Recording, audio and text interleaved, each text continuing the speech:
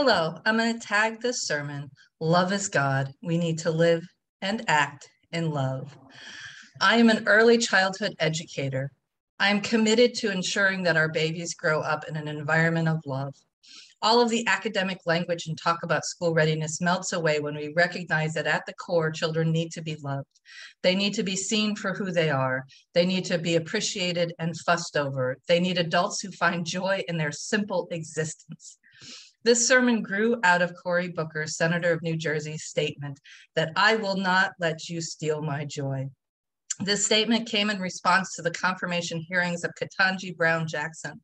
and Justice Brown's statements at confirmation, she said, In my family, it took just one generation to go from segregation to the Supreme Court.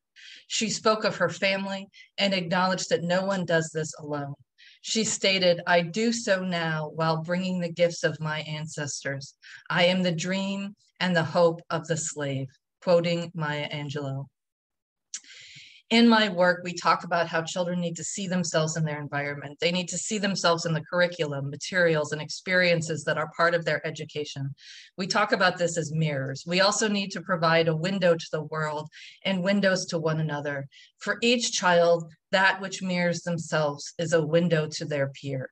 Why do I mention my work in early childhood? How does this connect to the confirmation of Justice Brown? And how does it connect to faith? It is all about relationships and it is all about love. We are who we are through our relationship with God and with one another. In our time together today, we will focus on two passages from the Bible.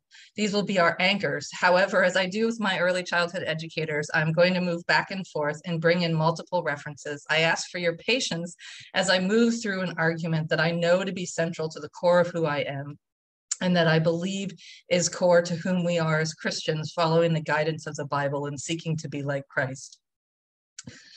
While I have not yet shared the verses that I will be focusing on today, I'm going to take us to summarize James chapter 2. God has chosen the poor of this world who are rich in faith. Salvation is gained by keeping the whole law, and faith without works is dead. I want to focus on two points that God has chosen the poor of this world who are rich in faith. We also see this in the Beatitudes, and that faith without works is dead.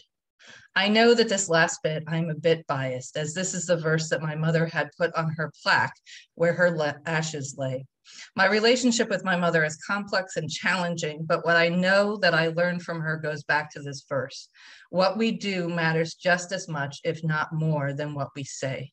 This connects to in- infant mental health psychologist Jeree Pawl's statement that how we are is more important than what we do okay, so how we are is more important than what we do, and what we do matters more than what we say. How does that connect? People say all kinds of things. What does it mean to be a Christian and to love God with all our heart? What does it look like to love our neighbor as ourselves? What does it mean? And how do we follow the commandment to love mercy, seek justice, and walk humbly with our God? I argue that what we do and how we are in our interactions with everyone is how we live out the teachings of Christ. In our time together today, we will focus on Mark 12 30 to 31. And you must love the Lord your God with all your heart, all your soul, all your mind, and all your strength. The second is this you shall love your neighbor as yourself. There is no commandment greater than these. Let's take a minute to sit in these words. What does it mean to love God with all your heart, to love God with all your soul, to love God with all your mind, all your strength? What does it mean to center your life around God? Doesn't this connect us back to James and the idea that our faith is what we do, what we say, how we think, how we live our lives? Is it not about just what we do on Sunday morning? It is about grounding ourselves, our sense of self, our mirrors and windows in the image of God. We are also grounding our time in the commandment Micah 6 8. He has shown you, O mortal, what is good, and what does the Lord require of you? To act justly, and to love mercy, and to walk humbly with your God. I have come back to faith as an adult in a recognition that the Bible, and in particular the Gospels, provide language that focuses our attention on the least of us. This also is seen in Matthew 25. If we are to strive as a society, we need to focus on those who are struggling, those who are in need. And if we are honest with ourselves, we are all struggling, we are all in need. We are all oppressed in different ways. We are all seeking liberation and connection with Christ. And yet, our world, our immediate culture is saturated in an idea of exceptionalism, seeing these yet to be United States of America as a beacon on a hill, seeing those who struggle as failures and lazy individuals who are just not trying hard enough. As I listened to Cory Booker speak to Justice Ketanji Brown Jackson, he spoke of those who had walked before us.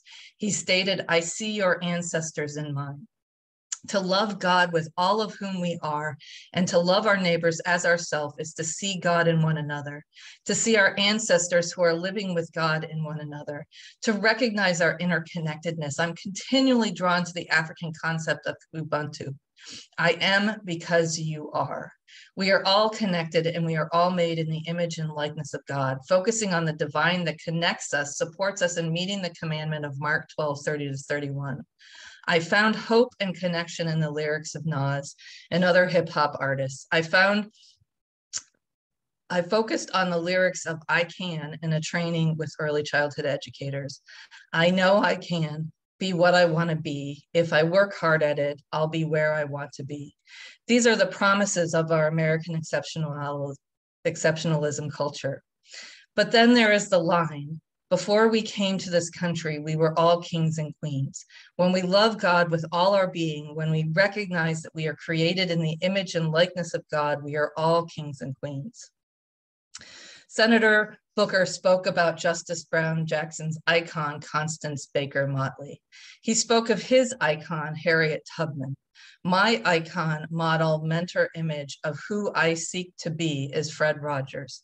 Mr. Rogers was an ordained minister who pastored children through this country through the television show, Mr. Rogers' Neighborhood. He taught the lessons of loving one neighbors in each message. He stated that he felt the Holy Spirit was between him and the children watching him on television. Fred Rogers spoke of his commitment to fearless authenticity. When we are fully authentic, fully ourselves, fully committed to loving God and loving each other, we can live in heaven on earth.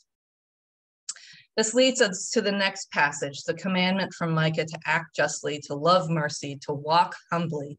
In this single sentence, the prophet sums up the legal, ethical, and spiritual requirements of religion.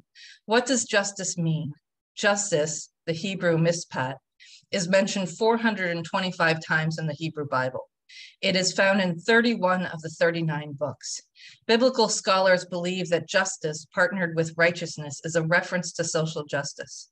Social justice is a focus on kindness and faithfulness. Some interpret loving mercy as loving kindness. At the end of the day, I believe that how we are with those who are marginalized and oppressed is how we are with God. Scripture always brings us back to love. When we love God with our whole self, we seek to follow God's commandments and to see Christ in one another.